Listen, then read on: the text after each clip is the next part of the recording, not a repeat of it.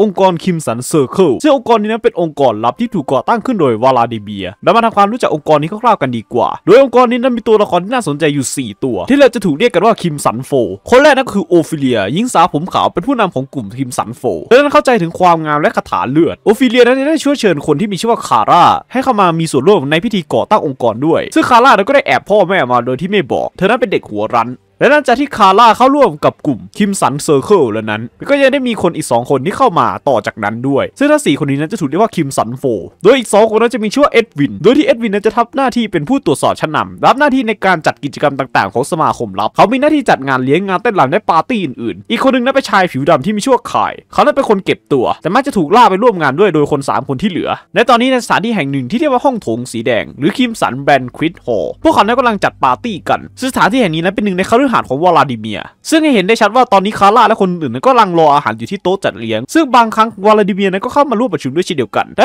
ติดต่อกับสมาชิกลับเหล่านี้ในงานเลี้ยง สมาชิกของกลุ่ม Crimson Circle นี้จะสวมชุดสีแดงเลือดอันวิจิตรงดงาม ภายใต้แสงสลัว ทุกคนนั้นต่างยินดีกับการมาถึงของวลาดิเมีย องค์ประกอบหลักของสถานที่แห่งนี้นั่นก็คือ สีแดงเลือดซึ่งก็สอดคล้องกับการใช้ชีวิตของผู้คนที่นี่ที่เกี่ยวข้องกับเลือดเช่นเดียวกับวลาดิเมียเช่นเดียวกันเขานั้นมักจะติดตั้งใบมีดคมกริดเอาไว้อยู่เสมอ เพื่อง่ายต่อการเกาผิวหนังของเขา และเพื่อที่จะได้สะดวกในการดื่มเลือดและร่ายคาถาเลือดของเขา และแน่นอนว่าคาร่ากับโอฟิเลียนั้นก็มีสัตว์เลี้ยงที่เกี่ยวกับเลือดด้วยเช่นเดียวกันโดยคาร่านั้นจะมีสัตว์เลี้ยงเป็นแมวสีเลือด โดยที่กรงเล็บและหางของแมวตัวนี้นั้นก็จะมีเล็บที่คมกริดเป็นสีเลือดเช่นเดียวกัน ทันทีที่กรงเล็บเหล่านี้นั้นสัมผัสกับผิวหนังแล้วก็เลือดของอีกฝ่ายนั้นก็จะออกมาในทันที ส่วนสัตว์เลี้ยงของโอฟิเลียนั้นก็คือนกพิราบแวมไพร์ซึ่งมันสามารถดูดกลืนเลือดของสิ่งมีชีวิตได้ มันนั้นมีลักษณะก้าวร้าวยิ่งกว่ายุงเสียด้วยซ้ำซึ่งตราบใดที่มันลงมือแล้วก็ศัตรูนั้นก็จะอันตรายถึงชีวิต ซึ่งหลายคนนั้นก็อาจจะสงสัยว่าเหล่า Crimson Four สมาชิกชั้นสูงของสมาคมลับของวลาดิเมียนี้ แต่ละคนนั้นดูไม่มีความเข้ากันกับวลาดิเมียเอาเสียเลย พวกเขานั้นดูเหมือนกับอันธพาลข้างถนนเหมือนกับเด็กเลวทรามที่ดื้อรั้น แต่ในความเป็นจริงแล้วนี่ไม่ใช่ประเด็นหลักที่วลาดิเมียร์นั้นต้องกังวลเนื่องจากสมาชิก Crimson Circle ของเขานี้ได้ทำอะไรที่เป็นประโยชน์มากจริง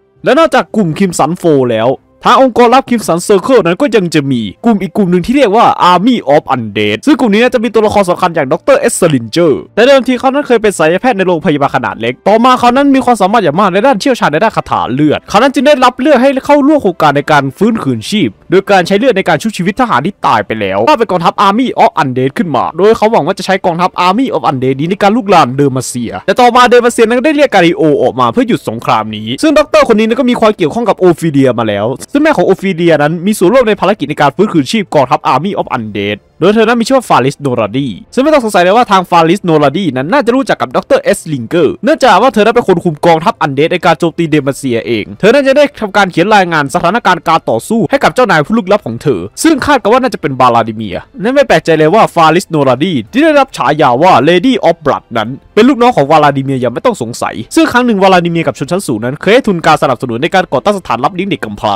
ซึ่งเขาก็ให้ทุนมาเป็นเวลานาน ซึ่งในตอนแรกวลาดิเมียนั้นได้มีการรับเลี้ยงเด็กที่มีชื่อว่าไคเอิญซึ่งเนื่องจากว่ากรุ๊ปเลือดของเด็กคนนี้นั้นเป็นเอกลักษณ์เป็นอย่างมาก ครั้งหนึ่งวลาดิเมียได้ทำการสกัดเลือดจำนวนน้อยออกมาเพื่อทำการวิจัย ต่อมาเขานั้นจำเป็นที่ต้องศึกษาคาถาเลือดเขานั้นจึงจำเป็นที่ต้องมีเลือดจำนวนมากยิ่งขึ้นวลาดิเมียใช้เงินจำนวนมหาศาลในการสร้างสถานรับเลี้ยงเด็กกำพร้าและยังขอให้ไคเอิญเป็นผู้อำนวยการสถานรับเลี้ยงเด็กกำพร้าของเขาด้วย และนั่นคือทั้งหมดของหน้าที่ของไคเอิญในการใช้เงินทุนที่จัดทำโดยวลาดิเมีย ในการกวาดหาเด็กจรจัดที่อยู่ข้างถนนในน็อกซัตซึ่งวลาดิมียนั้นก็ไปเยี่ยมสถานรับเลี้ยงเด็กกำพร้าเป็นครั้งคราว ได้มีการคัดเลือกเด็กที่มีสายเลือดอันเป็นเอกลักษณ์ให้เวลากับเด็กตามลำพังพูดคุย และบอกเล่าประสบการณ์ที่น่าเศร้าของตัวเองวลาดิมียนั้นได้รับความเฉลียวฉลาดและการรับรู้ทางอารมณ์จากเด็กเหล่านี้ ก่อนที่จะทำการเจาะเลือดเด็กน้อยออกมาเล็กน้อย และทำการเก็บน้ำตาอันไร้เดียงสาของเด็ก ในการใช้สำหรับงานวิจัย ซึ่งเลือดที่วลาดิมียเก็บรวบรวมมานั้น และการที่ใช้มันในการเป็นส่วนหนึ่งในการผสมสีลงไปในภาพวาดของเขาแล้วเรื่องที่เขารวบรวมมานั้นก็จะเก็บไว้อยู่ในมุมลึกลับของสถานรับเลี้ยงเด็กกำพร้าวลาดิเมียนั้นไม่มีเวลาจำกัดในเรื่องนี้ไคเอิญนั้นต้องตามหาเด็กที่มีสายเลือดพิเศษ และเขานั้นก็ได้มีความคิดว่าวลาดิเมียนั้นจะไม่มีทางหามันไม่เจอเสมอไปเขานั้นเชื่อว่าเลือดอสุกุลค่านั้นอาจจะมาจากการสร้างสถานรับเลี้ยงเด็กกำพร้าแห่งนี้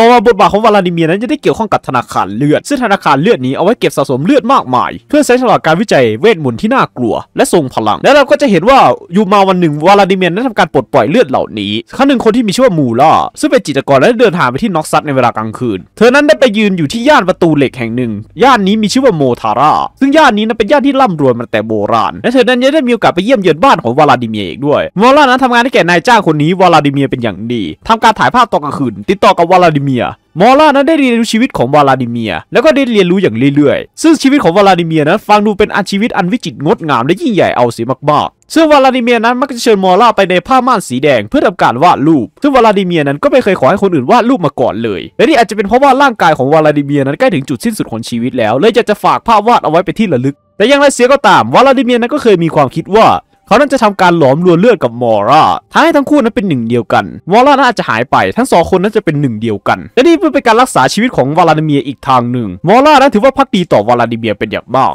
แต่ถ้าหากจะพูดถึงคนที่เชี่ยวชาญด้านคาถาเลือดนั้นก็จะมีอีกคนหนึ่ง คนคนนี้นั้นมีชื่อว่าเดอันฮาร์เกอร์ซึ่งเดอันฮาร์เกอร์นั้นเป็นเพื่อนสนิทของคาทาลินาเธอนั้นเป็นคนที่ใช้คาถาเลือดได้ แต่ไม่ค่อยชอบใช้มันอย่างจริงจัง ผู้หญิงคนนี้นั้นได้ทำการเปิดโรงเตี๊ยมเป็นของตัวเองภายใต้ผืนธงของวลาดิเมีย ซึ่งเธอคนนี้นั้นปัจจุบันเป็นคนที่รังเกียจคาถาเลือดเป็นอย่างมาก เธอตระหนักได้เลยว่าคาถาเลือดนั้นจะนำเธอไปสู่ความบ้าคลั่ง โดยเธอนั้นเต็มใจที่จะใช้คาถาเลือดของเธอเพื่อที่จะรักษาอาการบาดเจ็บของเพื่อนของเธออย่างคาทาลินาซึ่งคาทาลินาก็มีแผนที่จะทำการฆ่าพ่อของเธอเอง ทางเดอันนะครับจึงได้ทำการ มอบกริชนะครับให้แก่คาตาลินาซึ่งกริชนี้ได้ลงอาคมเลือดเอาไว้ ซึ่งมันนั้นสามารถใช้เวทมนต์เลือดได้ โดยซึ่งในขณะที่คาตาลินาได้ทาเลือดตัวเองไว้ในกริชเล่มนี้แล้วก็คาตาลินานั้นก็สามารถพุ่งไปหาตำแหน่งกริชได้ทันที ซึ่งนี่ก็จะเป็นสกิล E ในเกมนะครับ ต่อมาเราจะมาทำความรู้จักกับวากุมนักล่าสมบัติจาก Piltover ซึ่งเขานะครับจะเดินทางไปยังเกาะ Shadow Isles เพื่อค้นหาสมบัติ ซึ่งก็ได้มีคนไปตามหาสมบัติด้วยกันกับเขาถึง 7 คนเลยทีเดียว และในบรรดา 7 คนนี้นะครับก็มีหนึ่งในนั้นก็คือวาลาดิเมียนั่นเอง ซึ่งยามที่พวกเขานะครับจะออกเดินทางนี่เองก็ปรากฏว่าวาลาดิเมียครับได้ทำการสังหารเหล่าผู้ร่วมทางทั้ง 7 คนที่เหลือ ได้ทำการใช้เวทมนต์ในการควบคุมคนเหล่านี้ ในการไปเข้าหาสมบัติด้วยกัน ซึ่งทางวากุมนะครับเมื่อเห็นวาลาดิเมียมาที่ Piltover นั้นก็คิดว่าเหล่าทั้ง 7 คนนี้นั้นก็คือผู้ติดตามของวาลาดิเมีย ซึ่งแท้จริงแล้วครับวาลาดิเมียนั้นได้ทำการซ่อนตัวตนที่แท้จริงของเขาเอาไว้นะและววากุมนะครับจะได้ทำการร่วมมือกับวาลาดิเมียในการสังหารนักล่าสมบัติอีกคนหนึ่งอีกด้วย เพื่อที่จะแย่งชิงสมบัติ ซึ่งนักล่าสมบัตินะครับที่ได้โดนทั้งสองคนสังหารนี้เขานะครับก็ได้ทำการขายวิญญาณของตัวเองเพื่อเรียกคาลิสตาออกมาล้างแค้นให้แก่เขาซึ่งคาลิสตานะครับก็ได้ทำการโจมตีใส่วาลาดิเมียและวากุมคาลิสตาสามารถสังหารทางวากุมได้ และทำการไล่ตามวาลาดิเมียไป วาลาดิเมียครับจำเป็นที่ต้องทิ้งสมบัติเพื่อความอยู่รอด ซึ่งวาลาดิเมียครับสุดท้ายเขานั้นได้ใช้นาฬิกาขับไล่วิญญาณในการขับไล่คาลิสตาออกไป และเขานั้นก็สามารถออกจากเกาะ Shadow Isles ด้วยทางเรือได้สำเร็จสำหรับเรื่องของ League of Legends ในวันนี้ก็จบแต่เพียงเท่านี้ครับสำหรับวันนี้พบกันใหม่โอกาสหน้าสวัสดีครับ donate มาได้ทางช่องทางตามหน้าจอที่ปรากฏได้เลยครับหรืออยากจะสนับสนุนช่องทางอื่นก็ใต้ description คลิปนี้ได้เลยนะครับช่วงนี้ขอขายของเยอะหน่อยครับเพราะว่าจะหาทุนไปเดินงานสัปดาห์หนังสือ